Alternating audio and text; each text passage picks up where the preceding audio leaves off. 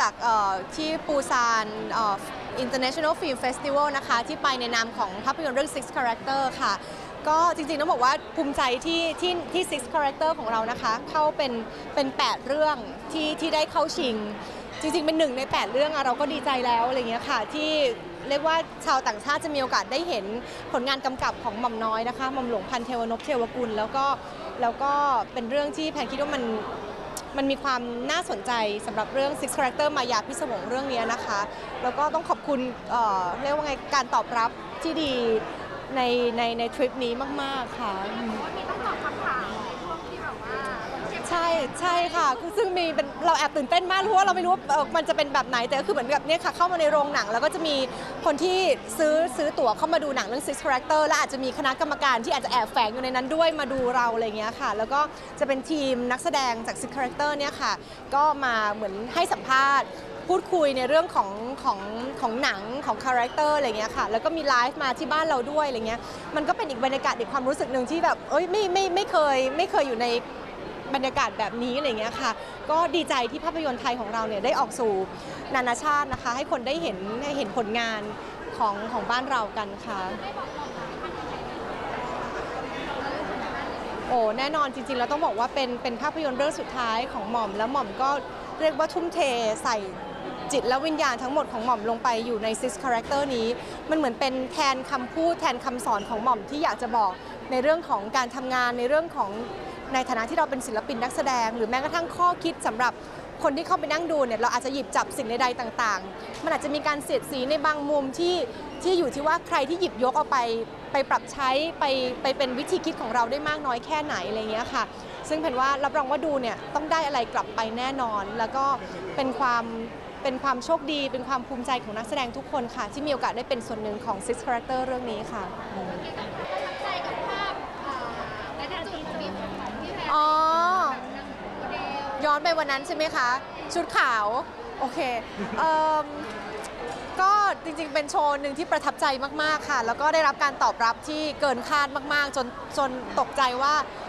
เกิดอะไรขึ้นอะไรเงี้ยค่ะ เพราะว่าทุกคนจะแบบ feedback เข้ามาอย่างรวดเร็ว แล้วก็มีแบบ repost อะไรต่างๆ ก็เป็นกำลังใจมากขอบคุณค่ะ ก็เป็นเป็นชุดของพี่ชอนที่มีโอกาสได้ใส่แต่มันคงแบบ มันอาจจะไปโดนตรงคอนเซปต์ที่พี่ชอน brief ไงว่าแบบน้องแพนเอาแบบนี้นะ แบบนี้นะพี่อยากได้แบบแข็งแรงเป็นแบบแบบโชว์โชว์นะ แบบคมๆเลยอะไรอย่างเงี้ยค่ะตอนนั้นก็กำลังคิดตามว่าพี่ชอนเอาอืมโอเคโอเคเอ๊ะจะยังไงดีนะอะไรเงี้ยแล้วบอกโอเคค่ะพี่ชอนตามนั้น แล้วก็ไปซ้อมซักซ้อมกับการถอดสูตรอะไรอย่างเงี้ยค่ะ ก็อยู่หลายรอบพอสมควรอะไรเงี้ยจนแบบ จนถึงเวลาเดินก็แล้วเพื่อนก็จะได้ยินเพื่อนๆเอ่อเล่ากันว่า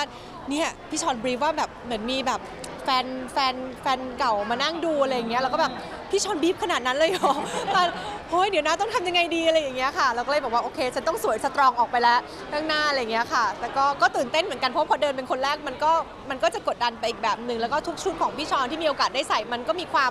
มีความยากง่ายที่แตกต่างกันออกไปตลอดอะไรอย่างเงี้ยค่ะ คุณค่ะเอ่ออาจจะเป็นเพราะว่าเรามาอยู่ในคอนเซปต์กับชุดนี้พอดี ซึ่งอาจจะไม่ค่อยได้เห็นในในคอนเซปต์แบบนี้อะไรอย่างเงี้ยค่ะ ก็เลยเอ่อเป็นเป็นเสียงตอบรับที่แบบค่อนข้างเป็นกำลังใจกันมาก ๆ ขนาดหลังจากทริปนั้นไปต่างประเทศไปแบบฝรั่งเศสไปเกาหลีก็ยังมีคนกลับมาบอกว่า โอ้โหชุดนั้นแบบได้ดูได้ดูแฟชั่นโชว์อันนั้นด้วยอะไรอย่างเงี้ยค่ะ ก็แบบประทับใจมากขอบคุณมาก ๆ ค่ะ ค่ะ หลายคนย้อนย้อนไปสมัยตอนได้ตำแหน่งมีคนควักรูปเก่ากลับมาใช้ไหม ถึงขนาดตั้งแต่ตอนแบบ Model of the World แบบไทยซูเปอร์โมเดลอะไรอย่างเงี้ยค่ะ ก็จริงๆมันมันเป็นสิ่งที่เรารักอย่างที่บอกว่าเราเริ่มต้นในการเดินแบบตั้งแต่แรกอะไรอย่างเงี้ยค่ะแต่ทำมากน้อยมันก็ผ่านไปตามช่วงเวลา แล้วก็จะได้เดินที่ไหนใส่ชุดไหนกับสถานที่แบบไหนมันก็แล้วแต่โอกาสอะไรอย่างเงี้ยค่ะ นี้บ่อยแพนก็อยากเดินบ่อยๆ ค่ะ ถ้ามี ยินดีค่ะ จริงๆแพนนี่เราบอกว่าเป็นเป็นสิ่งที่เรารักอยู่แล้ว แล้วก็จริงๆการเดินแบบมันไม่ใช่แค่เดินอย่างเดียว แต่ว่าทุก ๆ โจทย์ของของดีไซเนอร์ที่ให้กับเรามา มันก็คือสิ่งที่สำคัญเช่นกันหลายๆแบรนด์ที่เดินบางทีให้เดินเป็นแบบชุดญี่ปุ่น ต้องเดินแบบลักษณะการเดินสีหน้าท่าทางมันก็ต้องเปลี่ยนไปตามโชว์ อันนี้ก็คือโจทย์ในการในการทำงานที่มัน มันตื่นเต้นตลอดทุกครั้งของการขึ้นเวทีเช่นกันค่ะ ก็ยังถ้ามีโอกาสก็ยังเป็นสิ่งที่อยากทำตลอดค่ะ แสดงว่าความความยากมันคือโจทย์แต่ละโจทย์ใช่ไหมคะถูกค่ะในการเดินถูกค่ะ คือการเดินก็ยากแล้วอย่างหนึ่งเพราะบางทีมันมีเรื่องของเสื้อผ้าเรื่องของรองเท้า เรื่องของชุดที่เราต้อง present แต่บางครั้งมันมีเรื่องของของอารมณ์ที่ที่เอ่อดีไซเนอร์ต้องการจะสื่อออกไปในแต่ละคอนเซปต์ของโชว์อะไรเงี้ยค่ะ ซึ่งเราในฐานะนางแบบทุกคนก็ต้องทำตามโจทย์ตรงนั้นอะไรอย่างเงี้ยค่ะอืม ยังไม่ค่อยเห็นพี่แทนแบบว่าต่ออะแต่ สู่ในแบบดูอะไรอย่างเงี้ยมีคนติดต่อนักทางอะไรอย่างบ้างไหมมีนะคะ แล้วจริงๆ ก็มีน้องๆ ที่แบบว่าถามว่าเอออยากให้มีโอกาสได้แบบเหมือนมาแชร์กันหรือว่ามามาสอนกันอะไรเงี้ยค่ะ ก็ถ้ามีโอกาสก็อยากก็อยากลองทำดูเหมือนกันอะไรเงี้ยค่ะ เพราะว่าจริงๆ เรียกว่าเป็นแชร์ประสบการณ์ดีกว่า เพราะถ้าถามว่าทฤษฎีเนี่ยอาจจะไม่ได้แบบไม่ได้ตายตัวเนาะ แต่เราก็อาศัยประสบการณ์จากการทำงานของเรามา เห็นพี่ๆทำงานมาเนาะ พี่ๆสอนมาเราก็อะ ค่อยๆ ค่อย ๆ ฝึกฝนกันมาอะไรอย่างเงี้ยค่ะ ถ้ามีโอกาสก็อยากทำค่ะติดตามข่าวบันเทิงได้ที่นายตะเทนทุกช่องทาง กดไลค์กดแชร์ด้วยเนาะ